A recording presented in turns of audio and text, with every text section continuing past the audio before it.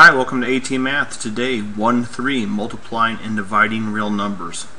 What you have here is a case where if you have, you're multiplying two negatives or you're multiplying two positives, the result's going to be a positive. The way to remember it, two positives make a positive or two negatives make a positive. On the other hand, if you have a positive and a negative, one of each in other words, it will turn out to be negative examples, and we'll use the four same numbers to give the example here. Negative 2 times negative 2 is positive 4. Uh, 2 times 2, of course, is 4. 2 times negative 2 is negative 4, and negative 2 times positive 2 is negative 4. Two are the same, positive result. Two different is a negative. Now take a look at this here. Let's say x equals 5 over 4 and we say it's 8x. So basically it's 8 times 5 over 4. The easy way to do it is take the number times the top, divide by the bottom. So we're going to take 8 times it by the 5, then just take that whole thing and divide by 4.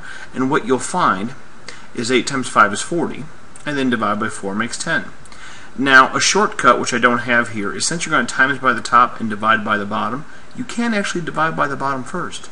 So 8 divided by 4 is 2, times 5 is 10. Whichever way is better for you.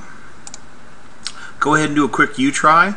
Let's see how you do in a second. Go ahead and pause. Okay, let's see how you did here. Let's move these over. I have negative 6 times negative 4, and that is a positive 24. 9 times negative 4 is negative 36. I have negative 11 times 6, which is negative 66 negative 3 times 8 over 6, I'm going to take the shortcut and take negative 3 divided by 6, which is going to be negative half times 8, which is negative 4.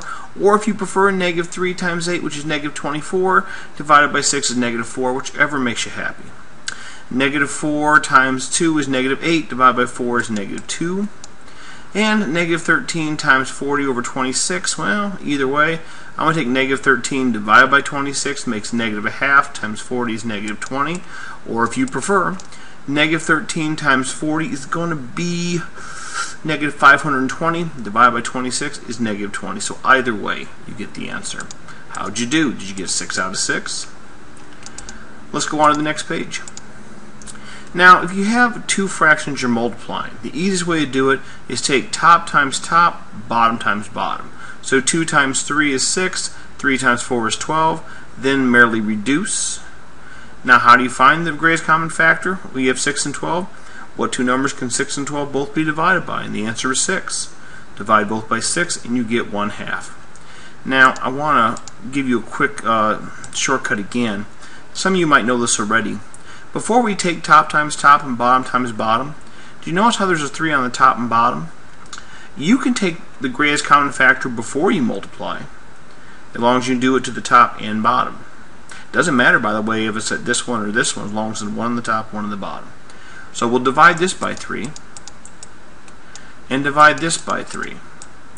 By doing so, this whole thing becomes a 1, and this becomes a 1. I can also take 2 and 4 and divide them both by 2, and get a 1 and a 2. 1 times 1 is 1. 1 times 2 is 2. Notice how it becomes a half either way. Some people like this method, some people don't. Whatever you like doing, do that. Go ahead and use either method and try these four this time. Go ahead and pause. Let's see how you did. So here, 4 times, now here we cannot do any pre-division because the top's even and the bottoms are odds. 4 times 2 though is 8. 5 times 5 is 25. Here, a negative and a negative make a positive, so it's still going to be a positive answer. I can pre-divide a 2 and the 8 to make a 1 and a 4, dividing both by a 2. 1 times 2 is 2. Now, 4 times 5 is 20. I see now. I could have divided both by 2 again. Either way, no matter how you sling it, it's going to be 1 tenth. Um, positive, by the way. That's the equal sign. Why is it positive once again? Because two negatives make a positive. Here, both have a 6 in top and bottom. So I'm just going to get rid of those and put 1s. And 5 over 7. Negative and a positive makes a negative. I can divide 2 out of both of these. I can divide a 3 out of this guy, as long as I divide a 3 here. And I can divide a 3 again. Looks like it 1 over 2, so negative 1 half. How many did you get right? Let's see. Very good. Now we're going to review reciprocal. Reciprocal simply means to turn upside down.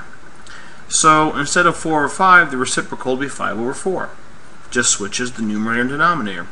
You do this after division sign. Do not flip the first fraction. In other words, if you have 4 fifths divided by 2 fifths, 4 fifths stays the same. It's 2 fifths that will be swapped. So instead of 2 over 5, it becomes 5 over 2. But 4 over 5 does not flip. Now that you have 4 fifths times 5 halves, you can take top times top, bottom times bottom. Don't forget we could just go ahead and pre-divide, put these at 1, divide both of these by 2, and get 2 over 1 that way. Either way works, neither way is wrong. You go ahead and try. Go ahead and pause. Let's see how you did.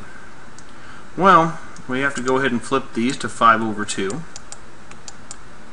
Also, there's a 5 in top and bottom. There's a 4 and 2 in top and bottom. Divide both by 2. Looks like my answer is 2. Here I got a flip, 5 over 2. By the way, when you flip, you don't flip the negative. Negatives are just negatives. Negative, only when you flip them, by the way, the divide becomes a times if I didn't say so. Negative, negative make a positive. You can get rid of a 2 in both. Makes 5 over 8. So looks like I'm getting 5 eighths. Here you got a flip, 6 over 5. Nothing really to pre-divide. 6 to 6 times 6 is 36. 7 times 5 is 35. Now honestly, I don't mind if you keep it like this.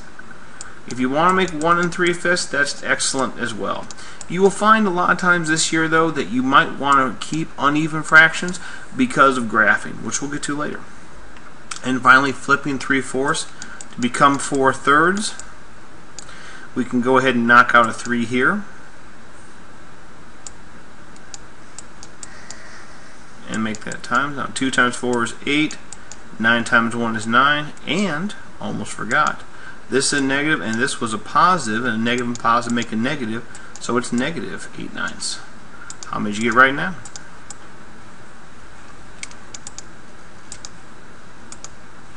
Now, when you have a mixed numeral like this, 3 and 3 fourths times 2 and 2 fifths, to do it the correct way, you want to get rid of this big 3. Now, how do you do that? Well, remember before how you times the top and divide by bottom? This is different because this isn't multiplied, this is attached. What you actually do is you take this times the bottom. So you take 3 times 4 and you'd add the 3. So 3 times 4 is 12, plus 3 makes 15. So it's basically 15 over 4. And let me give you a very brief explanation why. Because I know most of you probably already know this. You're like, I already know this. But let's just go ahead and take a look anyway. Now, you'll have to pardon the crude drawing here. I'll just try to knock it out for you best I can. What we're going to do is we're going to say this is 3 and 3 quarters pies. Not pi as the math equation, just yummy pie that you eat. So we'll go ahead and say this is 3 pi and this is 3 quarter. And now we're going to say, okay, well, the question is, how many pieces of pie could you serve if you have 3 and 3 quarters pies? Well, assuming they're all cut into quarters, because that's the number here, I'm going to say, okay, I got 1, 2, 3, 4, 5, 6, 7, 8, 9, 10, 11, 12. And you only have 3 quarters of this one, so 13, 14, 15. This one's empty. Looks like someone already had a piece of pie. So it looks like you have 15 pieces of pie, which are right here. Now why is it over 4? Because it's 15 pieces because and they're all chopped into quarters, so 15 fourths. So that's the slow version of why you're doing that, just so you know. Anyway, 15 over 4, and then still times 2 fifths. So what you're going to do is, again, top times top, bottom times bottom. 15 times 2 is 30, 4 times 5 is 20. You go ahead and find the greatest common factor, which is 10. Divide out the 10, and there you go. I'll take 3 halves. You can also make 1.5 or 1.5. Understand, for this example, I'll take this, this, or this. I know the first week of Algebra 1, a lot of people are like, well, which one do you want? Honestly, I want the right answer. And any one of these three qualifies the right answer. Now, if I say I need them in uh, decimals, then this would be the right answer. If I said I want them in an improper fraction, there you go. If I want them in a mixed numeral, there you go. So unless I tell you, I will accept any of these three. There'll never be any confusion with me. If I don't clarify, I'll be more accepting if your answer is similar to mine, as long as you can show me why you got it. So that's how you do that. Also, did you notice how I could have pre-divided here? 15 and 5 divided by 5 to both, 3 and 1.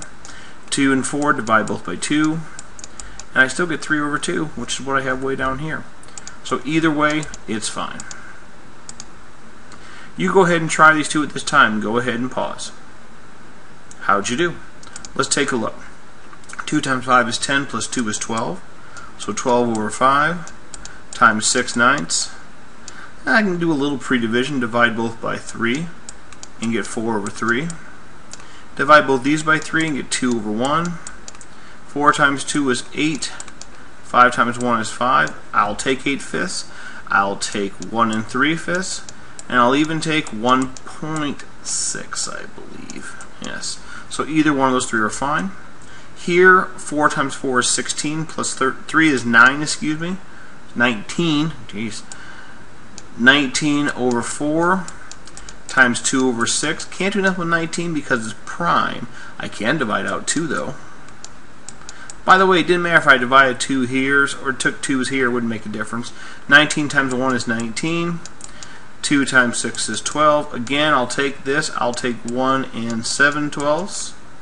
Or I'll take whatever equation that breaks down to. And if you're not sure, by the way, and suppose you don't have a, um, a calculator handy. Now, you probably already know this, of course, but if you go into your computer, almost any different uh, Word program has this. You can go ahead and go to Accessories, which are right here, and go to Calculator. And from right there, just 7 divided by 12. Almost every Windows computer has a calculator in there. If you're not sure, you can also look up the calculator. So 0.583, so okay, 1.583. If for some reason you can't find accessories, you should be able to go up to here into your search bar, calculator. And there it is. So either way.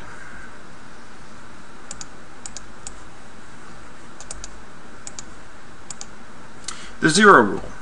Anytime, anything times zero is zero. So I don't care if it's 0 times 0 or a million times 0 or negative 54 a third and a fifth times 0, it's still 0. 0 divided by anything is also 0, but the only thing you can't do is you can't divide by 0. It has to be divided by something, and you can't divide by nothing. Anything divided by 0 is undivided because you can't divide by nothing. I don't want to get into the particulars, it just is. Just can't divide by 0. That's all. If you try the universe will explode or something, I'm pretty sure. Okay. okay, so go ahead and give these a try real quick. Go ahead and pause. Let's see how you did.